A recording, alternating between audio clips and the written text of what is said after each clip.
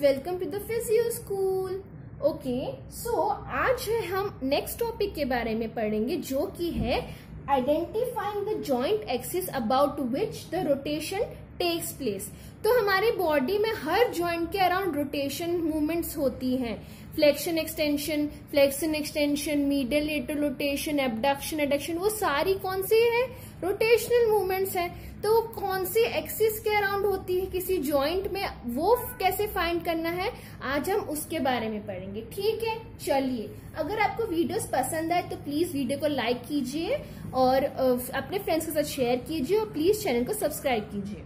चलिए तो सबसे पहले तो हमें पता है कि हमारी बॉडी में जितने भी मूवमेंट्स हैं जॉइंट के अराउंड होती हैं, ठीक है? तो वो जॉइंट के अराउंड जितने भी मूवमेंट्स होती हैं सपोज़ ये जॉइंट है, हमारा ये हमारी फीमर है, ये हमारा टीबिया है, और ये हमने, ये नी जॉइंट है हमारा, या बीच में।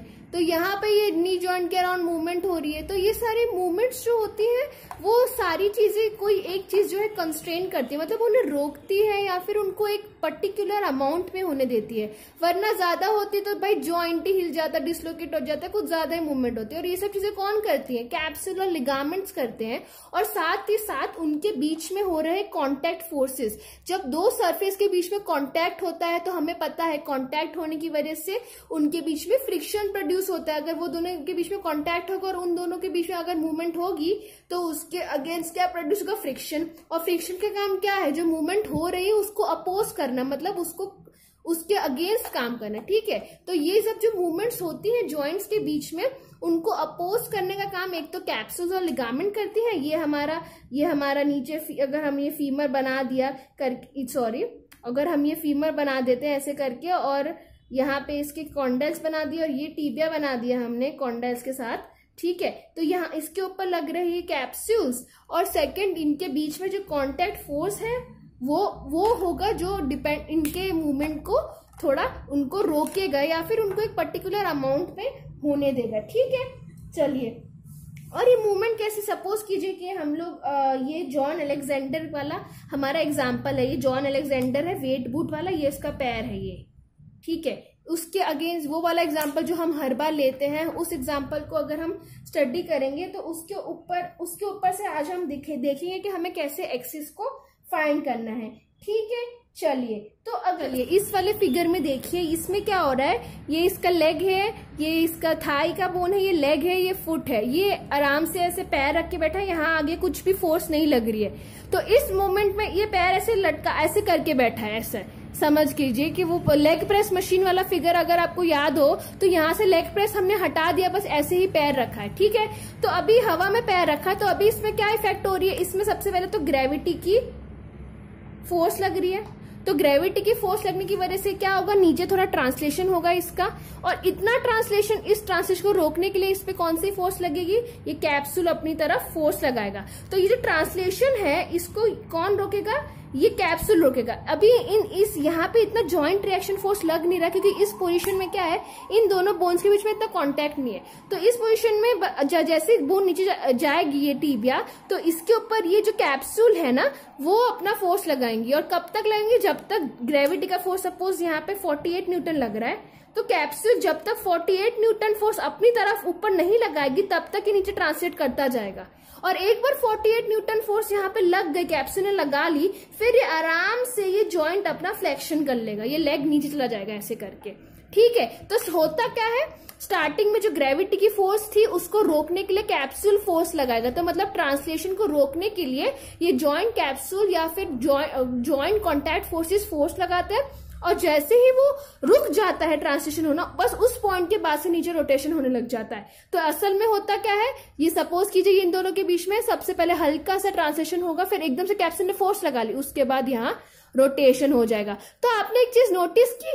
अगर रोटेशन कहाँ पे होना चाहिए था? इसी पॉइंट से स्टार्ट होना चाहिए था, पर हो कहाँ से रहा है? हल्का ट्रांसलेशन होने के बाद नीचे से स्टार्ट हो रहा है। तो इसकी एक्सिस जो थी रोटेशन की, वो तो बदल गई। तो जो एक्सिस होती है बोन में, वो बदल जॉइंट में सॉरी वो बदलती है। उनको कहते हैं हम इंस्टेंटेनियस एक्सिस ऑफ़ रोटेशन मतलब वो ट्रांसलेशन के साथ साथ वो जो एक्सिस है, वो थोड़ी थोड़ी भी नीचे जाती रहती है। उसके बाद रोटेशन होता है। ठीक है तो ट्रांसलेशन की वजह से जो एक्सिस थी, वो भी थोड़ी नीचे चली गई और उसके बाद रोटेशन स्टार्ट हुआ। तो इसको हम कहते हैं इंस्टेंटेनियस एक्सिस ऑफ़ रोटेशन मतलब इस पॉइंट के ऊपर अगर सपोज़ कैप्सूल लगा रही है, जो फोर्स लगा रही है तो इसी पॉइंट के अराउंड रोटेशन होना चाहिए। पर नहीं, इससे थोड़ा नीचे के पॉइंट पे रोटेशन, इस पॉइंट से रोटेशन है, क्योंकि क्या है, ट्रांसलेशन की वजह से बोन थोड़ा खिसक के नीचे चली गई, क्योंकि ग्रेविटी फोर्स लगा रही है। ठीक है, और वो कब तक खिसकेगी नीचे, जब तक ऊपर से कैप्सूल इसके ऊपर फोर्स नहीं लगा देगा, और उसको बोलेगा, बस, अब और नीचे तक को नहीं जाना है। बस, उसके बाद तू रोटेशन कर आराम से। ठीक है चलिए। इस एग्जांपल में आप देख सकते हैं कि ये टॉर्क ही प्रोड्यूस हो रहा है। क्यों? क्योंकि हमारे पास दो पैरेलल फोर्स है। एक तो ग्रेविटी की पैरेलल फोर्स और दूसरा ये कैप्सूल की पैरेलल फोर्स है। दोनों फोर्स ऑपोजिट डायरेक्शन में लग रही हैं और साथ ही साथ ये दोनों फोर्सेस एक ही ऑब्जेक्ट पे लग रही है और दोनों का मैग्नीट्यूड भी सेम है तो इसकी वजह से इसमें क्या होगा? प्योर रोटेशन होगा। पर कब होगा? जब ये कैप्सूल उतना फोर्स लगा देगी जितना ग्रेविटी नीचे की तरफ़ लगा रही है। मतलब उसको ट्रांसलेशन होगा, होता रहेगा होता रहेगा होता रहेगा, फिर कैप्सूल जितना जितना ट्रांसलेशन होगा 48 न्यूटन का होता गया होता गया, कब तक होगा? जब तक कैप्सूल 48 न्यूटन नहीं लगा देगी। उसके बाद ये एक कैप्सूल का फोर्स ऊपर की तरफ़ और नीचे की तरफ़ हमारा मसल का फोर्स और आराम से प्योर रोटेशन का मूवमेंट ठीक है? तो कहने का ये मतलब है कि जॉइंट में आपको अब उसकी एक्सिस बदलती जाएगी तो आपको एक ऐसा पॉइंट चूज़ कर लेना है मिडल में कि जिसके अराउंड आप सारा टॉर्क फाइंड कर सकते, क्योंकि अगर सपोज़ करिए, आपको टॉर्क फाइंड करना है फ्लेक्शन हो रहा है, और थोड़ा ट्रांसलेशन भी हो रहा है फ्लेक्शन हो रहा है तो ऐसे आप कैसे फाइंड करोगे? क्योंकि उसका पॉइंट ही बदलता जा रहा है, क्योंकि वो ट्रांसलेशन कर रहा है स्टार्टिंग में। तो कैसे फाइंड करोगे कि किस पॉइंट से हम चूज़ करें।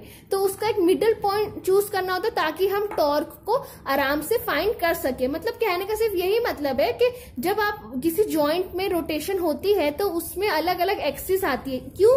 क्योंकि वो ज्वाइंट के अराउंड पहले ट्रांसलेशन की मूवमेंट होती है और उस ट्रांसलेशन कब तक होती है? जब तक कोई कैप्सूल उसको रोक ना ले या फिर कोई ज्वाइंट की सरफेस के बीच में कॉन्टैक्ट फोर्स आएगा उसकी वजह से फ्रिक्शन फोर्स आएगा, वो उसको रोक ना ले। इस एग्ज़ाम्पल में फ्रिक्शन इतना काम नहीं करी। सपोज़ करे कि कोई ऐसा ज्वाइंट है जिसमें बहुत ज़्यादा कॉन्टैक्ट हो तो उनके उनके कॉन्टैक्ट फोर्स की वजह से उनके बीच में कितना फ्रिक्शन प्रोड्यूस होगा। तो फ्रिक्शन ही उसको नीचे नहीं जाने देगा। फ्रिक्शन ही उसका ट्रांसलेशन रोक देगा और आराम से रोटेशन हो जाएगा।